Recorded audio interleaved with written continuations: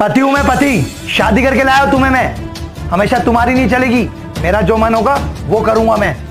अरे बाबा इतना गुस्सा क्यों कर रहे हो? क्या करना है तुम्हें? पहले बर्तन धोऊँगा फिर झाड़ू लगाऊँगा। अच्छा ठीक है। आप खुश? हाँ। जल्दी चलती है।